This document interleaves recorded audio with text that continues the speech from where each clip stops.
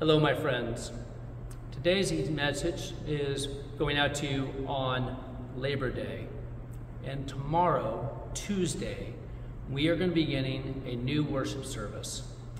At noontime on Tuesdays, all every Tuesday leading up to the election and then following the election up to the inauguration of our next president in January, we here at St. Thomas will be leading a litany of litany for the elections. This meditation service time is a time just whether at work, at home, or if you can come by the church, it's an opportunity to say, you know what, there's a lot of noise out there, there's a lot of stress out there, there are a lot of people trying to divide us out there. And we as Episcopalians, we as Christians, and we as members of St. Thomas, we know better.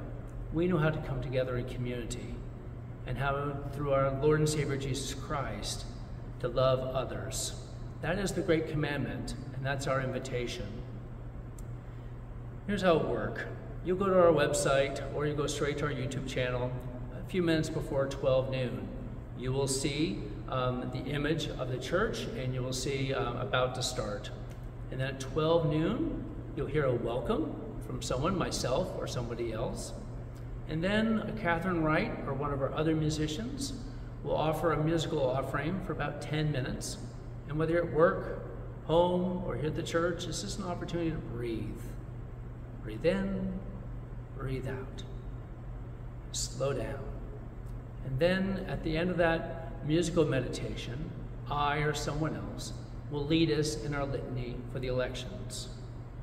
The pastoral care team has been praying about offering this litany for almost six months now.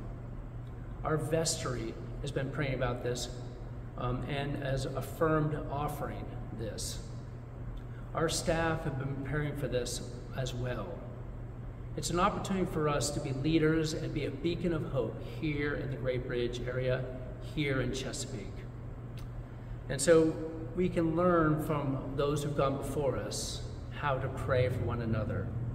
So the litany is attached in a PDF file below this video. That's available for you. There'll also be a link to remind you how to go straight to our YouTube channel, or there'll be also a link to go to our website if you want to go that way.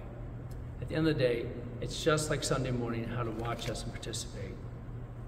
My hope for you is what my prayer is for me. I need to turn this off.